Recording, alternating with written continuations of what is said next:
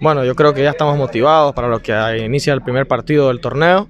Eh, ya hicimos el reconocimiento de, cancha, eh, una cancha sumamente caliente, eh, cancha sintética, creo que no nos va a afectar porque igual nosotros jugamos en cancha sintética, pero puede ser un poquito el factor del calor. Vamos a ver cómo tratamos de mejorar ese tema para que los jugadores no sufran ninguna deshidratación. Vamos a tratar de mantenerlos bien hidratados.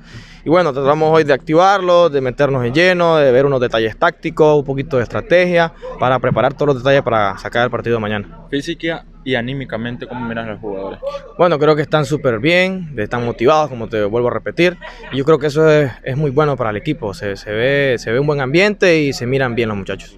¿Cómo van a enfrentar este partido? Un partido difícil. Bueno, mi frase en todos los entrenamientos ha sido que cada partido lo tratemos como una final. Son tres partidos en la fase de grupo. Tenemos que jugarlo a muerte cada uno, trabajando como debe ser, poniendo la actitud correcta. Y yo creo que si lo hacemos de esa manera, creo que los resultados van a ir por sí solos un resultado positivo esperas mañana? Sí, eso es lo que esperamos, todo un resultado positivo, todo el esfuerzo, todo el trabajo que hemos hecho toda la semana para, para venir al torneo a competir a como debe ser. Bueno, gracias a Dios, no como parte del cuerpo médico no tenemos lesionados, todos vienen en perfectas condiciones.